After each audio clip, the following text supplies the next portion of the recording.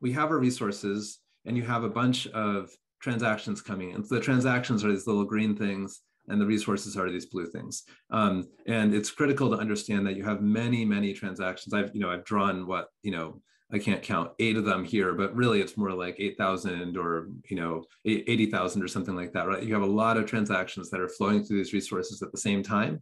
Um, and uh, you have a bunch of telemetry coming out. I think um, you have often tracing data coming out of the transactions. You often have metrics data coming out of the resources. And then in both cases, you have a set of tags. Like you have tags on the resources, tags on the transactions. Um, uh, there's a technical problem that I'll just describe briefly, which is that you have all this data, whether it's structured logs or tracing, and you have all this metrics data down here for the resources.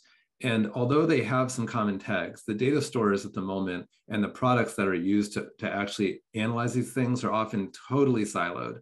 Um, and that makes it really difficult because if you're trying to understand how a set of transactions is affecting a resource or vice versa, um, you need to, your tooling needs to be able to join across on those tags and needs to be able to do that in the aggregate. I don't mean like looking at individual traces in the trace visualizer or looking at individual time series in a metric visualizer. The system that you're using needs to be able to join across these two data sets and it needs to be able to do so dynamically and efficiently to figure out how you know a change in the transactions is making a resource unhealthy or how an unhealthy resource is affecting transactions. And that join is very difficult because there's a huge amount of data on both sides of this um, you know duality of, of transactions and resources. And then on the human side which is actually um, possibly more interest, interesting um, these things are totally codependent. You have an unhealthy resource then all the transactions going through it become unhealthy. If you have some massive influx of new transactions, that will make resources unhealthy because everything has some scaling limit. Um, no matter you know how you designed it, there's always a, a point where it will break. Um, and then this is the key from a human standpoint: the end users, your customers, they only care about transactions.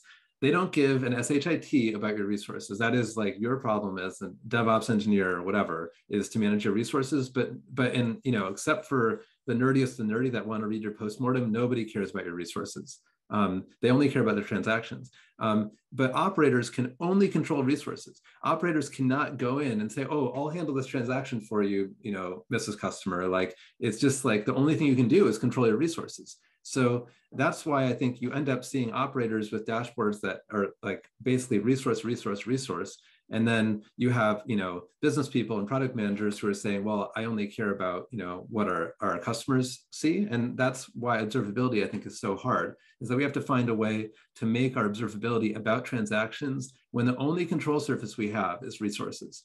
And so you have to find a way to express um, that relationship.